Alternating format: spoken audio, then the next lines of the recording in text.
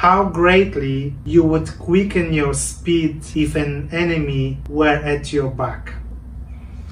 So, decision making in life and in art with my painting I think 90% finished with the person sitting on the chair overflowed with all those mark making decisions and it takes me back to my uh, youth when I was uh, 18 maybe 20 I remember I was able to make very quick decisions in my time between 20 and 30 I was like this with decision making. Even if I felt the decisions I was making were maybe not right, I was making them anyway very quickly with full confidence because I knew that this gonna be only a short period in my life and I can change it whenever I want. I don't have to stick to that one decision that will rule my life forever. And I think that reflects in my painting a lot as well. That's why I also like to use oils just because if I make a wrong decision in the painting, I know I can change it. I know I can go back to it. I know I can put another layer, another mark, another brushstroke, or completely uh, repaint the painting and make it something new out of it. As you know, I mentioned uh, in my previous videos that I really like uh, Seneca. Seneca uh, was with me uh, since I was, I'm not going to lie, since I was 16 I think that was the first time when I bought um, some of the books uh, about him and books uh, with his uh, letters and with his uh, uh, writing. And one of them, my favorite, was the book with qu quotes from across all of his writing he did, letters, other philosophical approaches to life and I remember I was uh, reading this book every day, opening randomly on some of the quotes. And then uh, I moved to the UK and I lost the books. My parents moved several times. So the books that I had disappeared somewhere, I don't know where.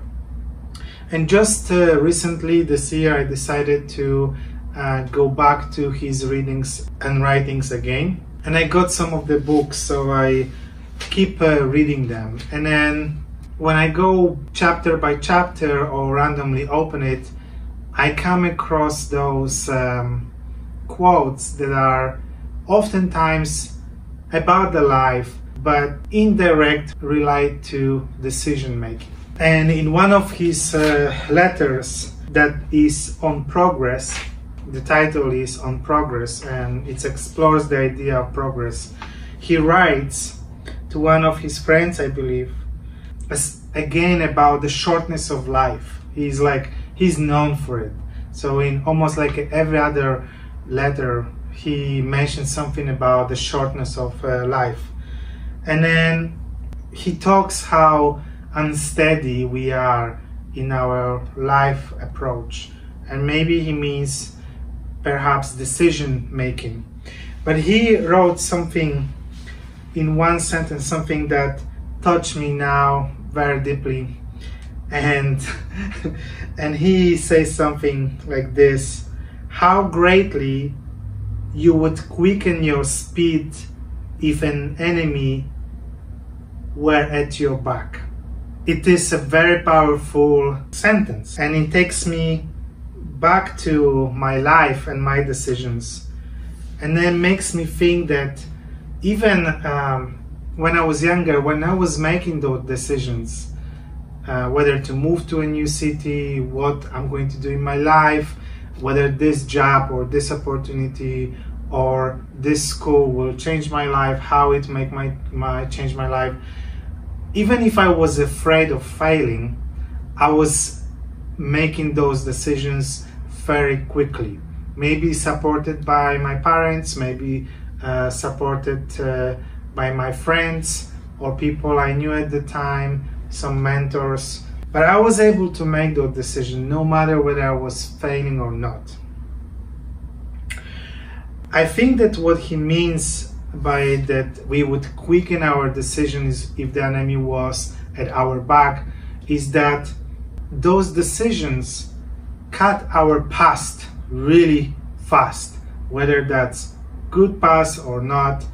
We quickly cut from the past to build the future. And when I think about my painting, when I make the decisions and sometimes destroy something that maybe was satisfying. I think that by destroying it, I oftentimes build something better upon it. And it's the same with uh, life. So if you struggle as an artist making decisions in your painting, sometimes making quick decisions, failing and maybe destroying the work brings something better for the future. I'm going to leave it right here with Seneca philosophy, Seneca wise words for tonight. Stay tuned.